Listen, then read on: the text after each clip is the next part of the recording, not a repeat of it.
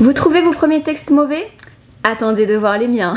Meilleure intro de l'année, je suis sûre que vous êtes ravis de me retrouver sur YouTube.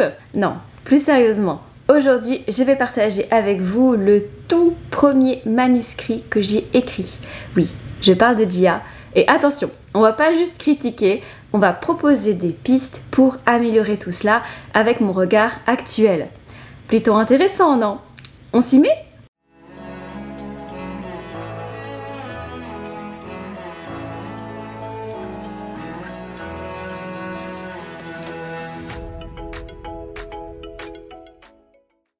Bonjour à tous, je m'appelle Christelle Lebailly et je suis ravie, vraiment ravie de vous retrouver sur ma chaîne. Comme je vous l'ai dit dans la vidéo d'aujourd'hui, je vais vous lire le tout premier texte que j'ai écrit, sachant que j'ai commencé à 18 ans et qu'aujourd'hui j'en ai 27. Et ce qui est beau, c'est qu'à l'époque, j'étais persuadée que ce que j'écrivais était génial. Vous allez voir dans un instant à quel point euh, je me trompais, mais surtout, euh, je ne consultais aucune ressource pour m'améliorer ou alors je n'en tenais pas compte, je me sentais pas du tout concernée par les problèmes mis en évidence euh, dans les bouquins que je lisais. Euh, on adore toujours la Christelle prétentieuse de l'époque. D'ailleurs, en parlant de ressources N'oubliez pas qu'en vous inscrivant à ma newsletter sur mon site internet www.christellelebailloteur.com, vous recevez gratuitement mes petits guides comment écrire et publier un roman. Alors, euh, si ce n'est pas déjà fait, foncez-y. Depuis mes 18 ans, j'ai eu de nombreuses remises en question. Euh, mon écriture a normalement évolué et je n'écris plus ainsi. Mais on va voir que certaines mauvaises habitudes ne sont peut-être pas si loin que ça. En plus, euh, j'offre des prestations de relecture critique euh, aux auteurs. Donc on va voir si j'arrive à faire ça sur mes propres manuscrits. Bref, je suis euh, un peu nerveuse, mais bon, on respire un grand coup et ça va aller. oui, alors je vous ai un peu déplacé, mais ça a l'air d'aller. Vous me voyez toujours, c'est le principal. Donc, je vais vous lire... Voilà, les toutes premières phrases que j'ai écrites de ma vie. Une journée bien exténuante.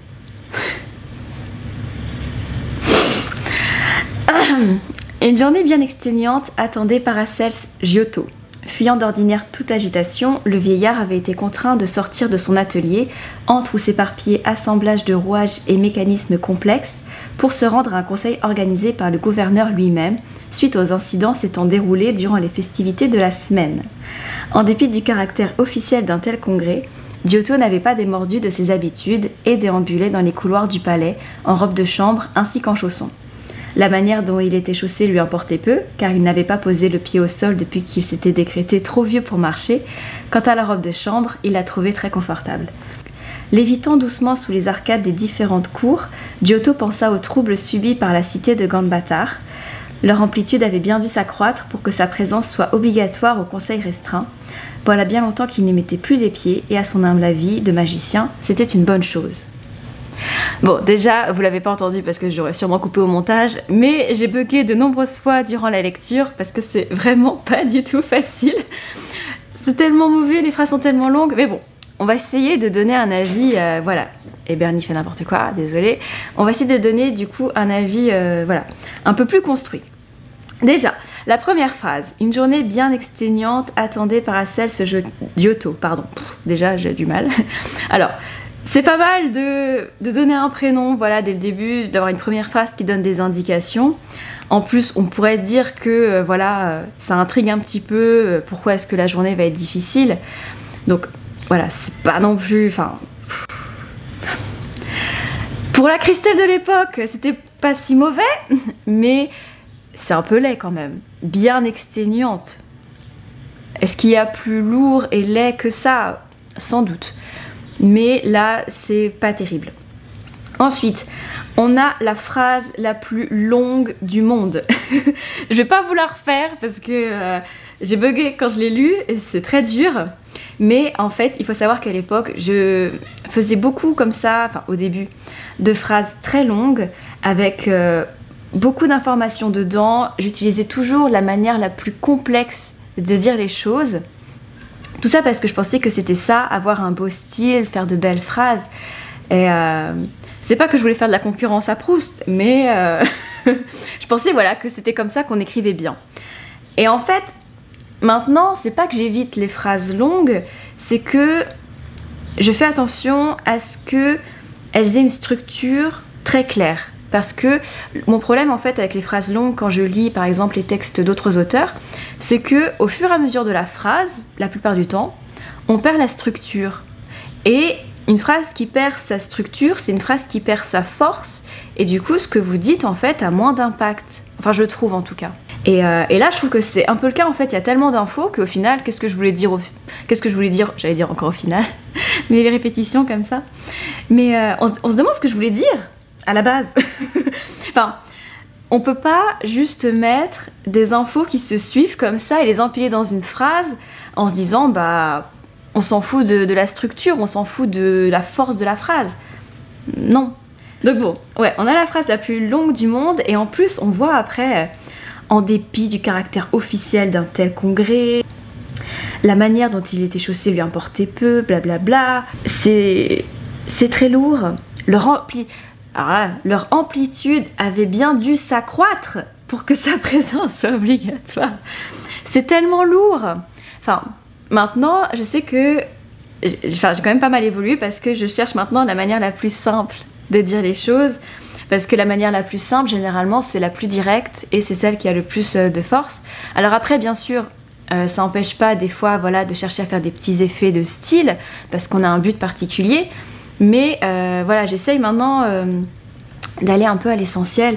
Je m'embête pas avec leur amplitude, avait bien dû s'accroître, parce que c'est trop. Euh, et puis on voit que je commençais à avoir ma petite signature qui est les participes présents en début de phrase, lévitant doucement sous les arcades. Enfin... Ouais.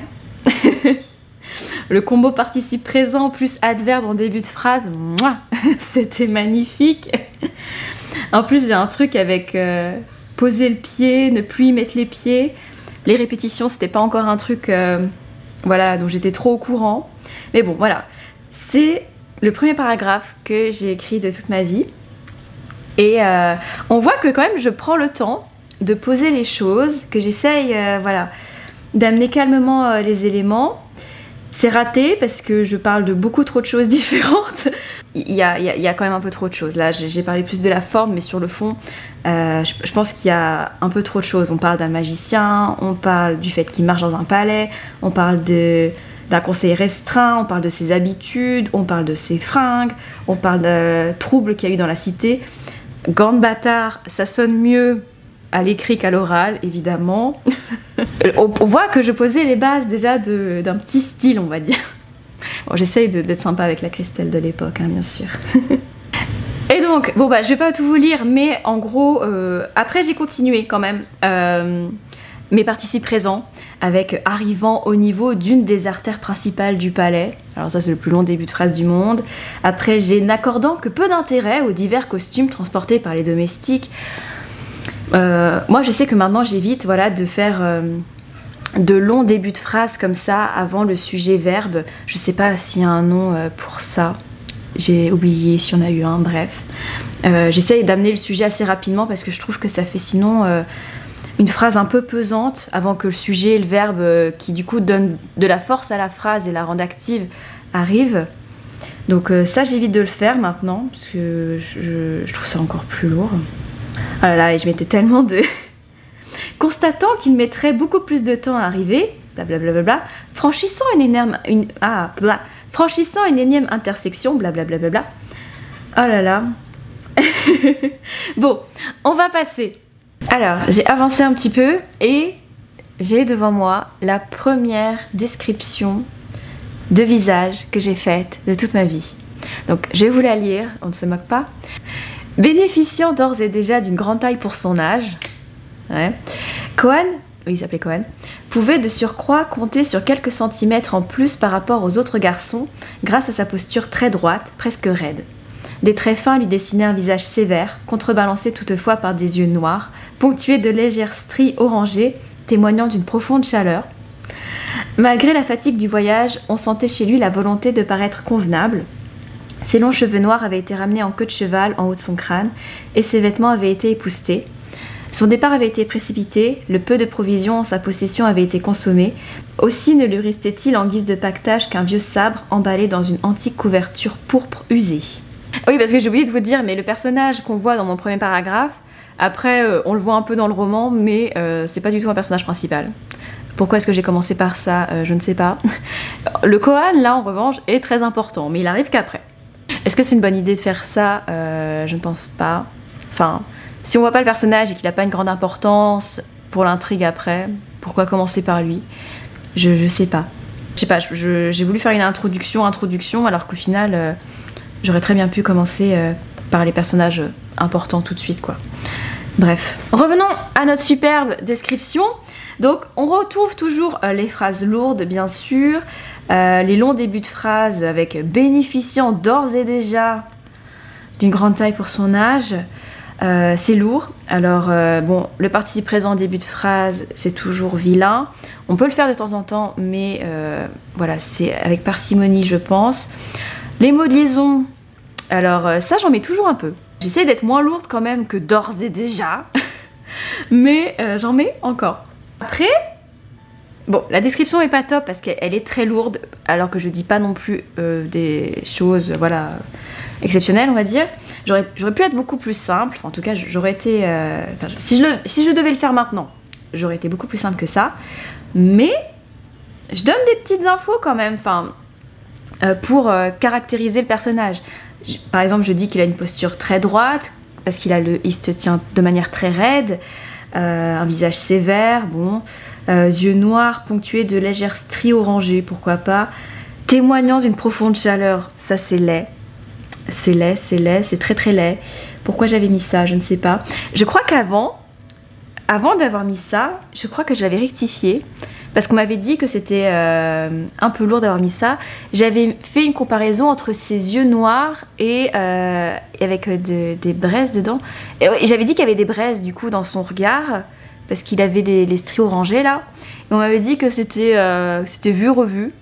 Et ça m'avait grave vexé, genre j'étais vexée comme un pou. Mais j'avais quand même changé. Alors, euh, comme quoi je tenais compte de temps en temps des remarques qu'on me faisait. Mais c'est pas mieux, hein, de toute façon. Après, c'est vrai que je parle aussi d'un peu de choses. Genre, je parle d'un voyage, d'un départ précipité. Bon, j'ai essayé de lier ça avec la description. Bon, ça, aurait pu être fait plus simplement. Voilà, on voit quand même un peu son caractère dans la description. Et, euh, et ça, bon, c'est pas si mal c'est mieux que juste de dire qu'il est grand, qu'il a de longs cheveux noirs et, euh, voilà, qu'il a un sabre dans son sac, quoi. Bon, j'avais essayé d'en faire quelque chose un petit peu. Ah Et ma première description de lieu. Je vais vous la lire. L'allée était remplie de commerçants ambulants, du simple marchand de légumes à la boutique souvenir. Dans un déferlement de couleurs, les étals débordaient d'ingéniosité afin d'attirer les clients, déjà nombreux à se presser dans les rues encombrées. Un commerçant se vantant de proposer des articles magiques dernier cri offrait aux spectateurs une féerie de feux d'artifice multicolores. Un marchand de bijoux n'hésitait pas à faire monter sur scène ses ravissantes assistantes, au plus grand plaisir des badauds masculins. De l'autre côté de la rue, un orchestre mécanique miniature accompagnait une troupe de danseurs glanant des piécettes. Euh, comme on peut le voir, j'ai toujours du mal à lire ça parce que euh, bah déjà euh, il n'y a pas de virgule. Ah, il y en a une. une virgule de temps en temps. Et euh, les, phrases, en fait, euh, je pense que je trouve ça bien d'avoir insisté sur des détails. Euh, c'est ce qui manque aussi certaines fois dans les scènes que j'ai dans les manuscrits. Quand, par exemple, une fête, où voilà, là, c'est une espèce de, voilà, de festival dans la ville, il y a une fête ouais, où il y a plein d'activités proposées. Et en fait, ce que je trouve dans les manuscrits que je lis bien souvent, c'est une description générale, dire que euh, il y avait beaucoup de bruit, que, enfin, ça parle d'une ambiance ou une atmosphère euh, surchargée de je sais pas quoi, enfin, et tout ça reste très général.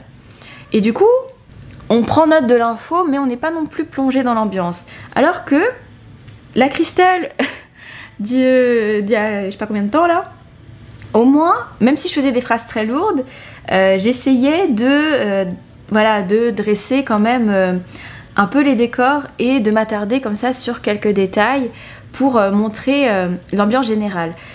Et euh, bon, c'est fait un peu de manière, enfin un peu beaucoup, de manière lourde, mais euh, pareil, je retrouve les bases de mon style actuel, donc je trouve ça très mignon.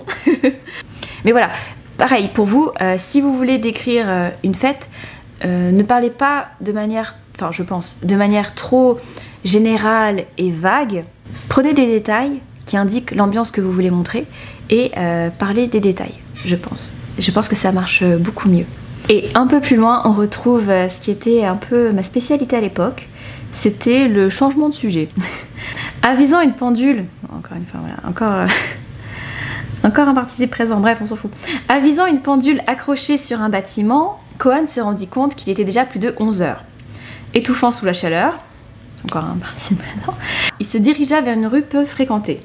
Sa cicatrice le lançait de nouveau, mais il n'osa la toucher, les habitations de la ville semblaient pour la plupart toutes calquées sur le même modèle. On avait pris le parti de construire en hauteur, l'espace à l'intérieur de la muraille ayant rapidement manqué. Pourquoi je passe de la cicatrice à la description de la ville, je ne sais pas. Une envie soudaine, enfin, c'est assez inexplicable, mais ouais, ça il faut savoir que, euh, j'étais un peu spécialisée là-dedans. On ne sait pas pourquoi j'en parlais, mais j'en parlais. Ah, et aussi j'avais un tic dont je crois que je vous ai jamais parlé. C'est que, euh, un moment quand même, j'avais vu qu'il fallait pas trop utiliser le verbe être. Et euh, ce que j'ai fait pendant pas mal de textes, pendant pas mal d'années, c'est que j'utilisais le verbe sembler. Parce que pour moi c'était un peu comme le verbe être, mais c'était un peu plus classe. Et puis lui, je voyais pas qu'on critiquait souvent. Alors qu'en fait, sembler, c'est hyper flou, genre ça semble, mais est-ce que ça l'est, est-ce que ça l'est pas, on ne sait pas. Et je le mettais tout le temps. C'est-à-dire que euh, vous faisiez une recherche dans le texte de sembler, mais j'en avais mais des centaines et des centaines. Tout ça parce que je trouvais ça mieux que le verbe être. Alors qu'au final, une chose, elle l'est ou elle l'est pas, très bien, mais sembler, ça veut rien dire en fait. Et aussi, ce que je retrouve dans certains textes, et que bah, du coup je retrouve dans le mien, donc c'est marrant, Cohen atteignit rapidement son but, ou plutôt la plateforme sur laquelle reposait celui-ci. Pourquoi ne pas dire directement euh, qu'il va sur une plateforme? Faut pas essayer d'embrouiller le lecteur. Voilà, il faut dire les choses où elles sont, pas tenter de faire des petits, euh, des petits trucs. En fait, non, ça c'est pas là, mais là. Euh, parce que, bah déjà en plus, si on a un style un peu lourd, ou alors qu'on n'est pas très à l'aise et qu'en plus euh, on fait des imprécisions qu'on reprécise bien après, enfin là, euh, non. Je pense qu'il vaut mieux euh, aller directement voilà, à ce qu'on veut dire. Et pour continuer voilà, sur les imprécisions, je suis en train d'essayer de regarder dans le texte si je trouve un exemple, mais je mais je vois pas. En fait, ce que je vois dans les textes que je lis, c'est des auteurs qui atténuent leurs propos. C'est-à-dire que euh, il va avoir un, un cri va être poussé à un moment et il va être presque assourdissant. Pourquoi atténuer euh, le propos Ou pareil, euh, vous voulez dire quelque chose, mais vous trouvez pas le bon mot. Alors, pour montrer que vous n'avez pas trouvé le bon mot, mais que c'est presque ça, vous mettez entre guillemets. Mais non, quand vous parlez, quand vous exprimez à l'oral, vous parlez pas entre guillemets, vous dites les choses. Euh, et, dans un texte, il, faut ça aussi, je pense. Il faut pas faire presque les choses, il faut pas les mettre entre guillemets. Il faut dire directement, de manière affirmée, ce qui se passe, parce que sinon, en fait, ça donne une narration euh, vague et faible. Et euh, c'est ce qu'on veut éviter. Donc, ne mettez pas trop de, de presque, de très très grand, voilà presque assourdissant, presque machin, ça semble comme ça. Soyez euh, affirmés dans ce que vous dites, je pense. Sauf si, encore une fois, vous en mettez quelques-uns pour créer un effet particulier, Bernie, c'est n'importe quoi. voilà, certaines fois, oui, utilisez-les, mais euh, faites attention quand même à ce que votre style n'en paraisse pas affaibli. D'accord? Voilà, c'est un conseil comme ça. Mais j'essaie de trouver un exemple, mais je trouve pas. Je suis sûre que pourtant j'ai dû commettre euh, l'erreur à un moment. Hein. Bon voilà, je pense que la vidéo doit être déjà assez longue. J'ai l'impression d'avoir beaucoup parlé pour euh, assez peu de texte. Dites-moi si ça vous intéresse comme ça que, je lise d'autres de mes textes, encore euh, des chefs-d'œuvre, et que je vous en parle avec euh, mon avis. Il faudrait que je trouve quand même euh, des points, voilà, comme là j'ai fait avec l'inscène d'introduction, description, tout ça.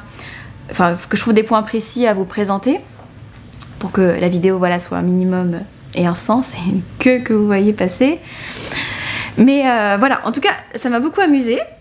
Donc euh, voilà, si vous en voulez d'autres, dites-le moi. N'oubliez pas de vous abonner à la chaîne et de liker la vidéo si vous êtes euh, content de me revoir sur YouTube. Moi en tout cas, euh, je suis vraiment très très très très très très très heureuse et je vais, enfin j'espère pouvoir développer toutes les idées de sujets que j'ai parce que j'en ai beaucoup.